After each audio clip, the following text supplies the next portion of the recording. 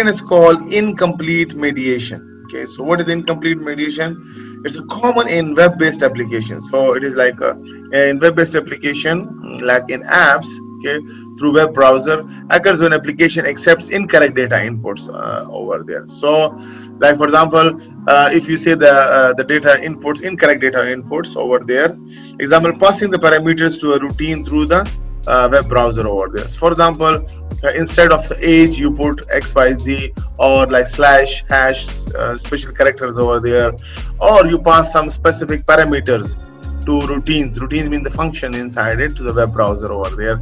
So it is kind of a sql injection kind of thing if you know about sql injection where you pass the wrong parameters over there for the web application the mediation needs to ensure correct inputs common example javascript code to do the validation check over there.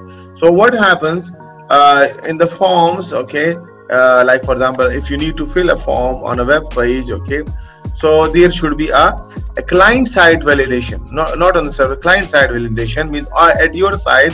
So if you fill a form name age okay date of birth okay currency or whatever and then you put submit over there right?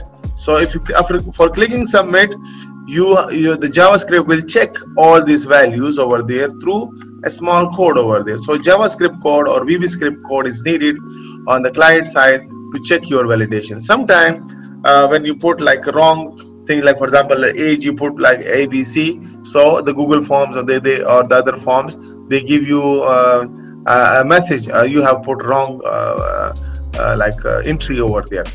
But for the for the username and the password it cannot be done at the client side. You have to go to the server side. So server side the google server or the youtube server it will be in the server it will be validated over there because the username and password cannot be validated at your side because you don't have the server.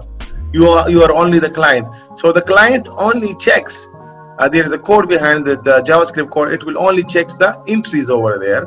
So you can like uh, skip the incomplete mediation over there. But for the username and password you must uh, check from the server and it will give you back the answer over there. So that is the uh, difference between the client side programming